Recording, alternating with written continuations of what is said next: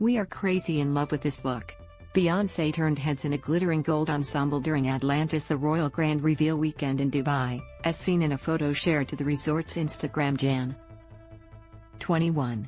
The fashion statement featured a gold sequin gown with eye-catching cutouts.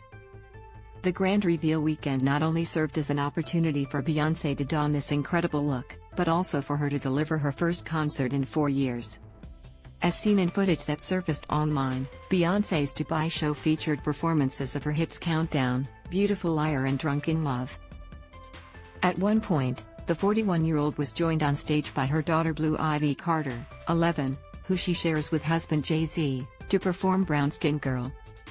For the occasion, Blue Ivy sported a red, sparkling ensemble, as seen in the online clips. Meanwhile, her mom donned a yellow, floor-length gown. Beyoncé last performed a full concert in 2018, when she and Jay-Z took the stage at the Global Citizen Festival, Mandela 100.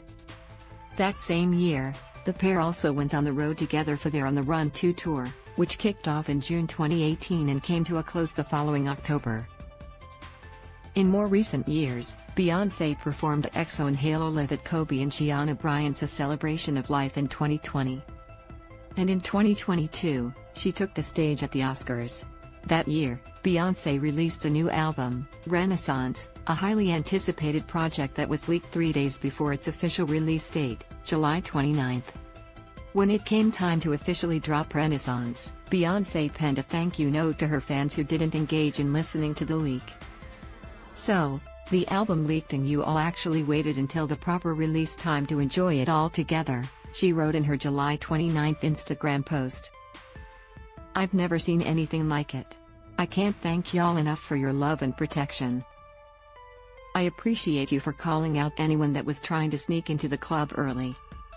It means the world to me.